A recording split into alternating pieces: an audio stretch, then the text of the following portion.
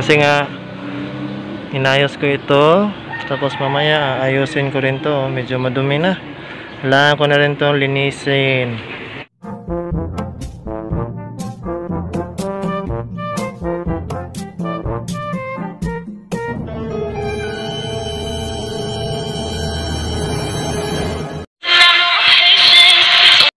So, good morning. Good morning. So, Moranco Vlog.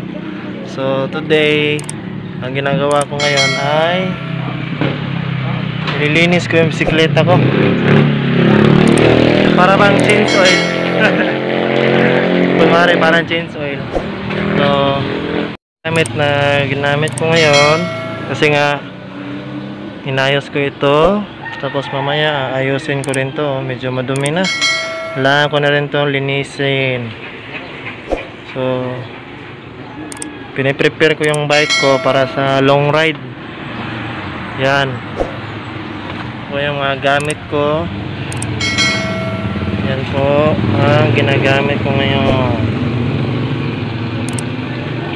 Yung grasa saka yung klodo na panlinis ko. Yan. Yan. Oh, yan yung ginagawa ko ngayon guys. Saka natsambahan yung daliri ko. Yan. Nasugatan ng konti sugatan lang ako ng konti guys no? So wala ko ibang ginagawa ngayon hindi maglilinis lang ng aking bisikleta. Kanina, kanina ko pa to sinimulan ang paglilinis. So dahil sa pinagpe-prepare ko talaga yung ano malayo-layo na pagbibisikleta namin. Mga kasama ko baka imbitahan kasi ako eh. So yan guys ha yun na lahat yan guys. Yun yung ginagawa ko ngayon. Naglilinis lang ako. So umagang umaga ito lang yung ginagawa ko. Palipas oras linis bike. So yun no? Kung hindi ka pa nakasubscribe sa aking youtube channel mag subscribe na kayo.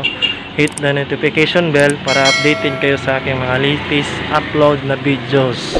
So what's up mga kamarang ko shout out sa aking bisikleta. Operation niya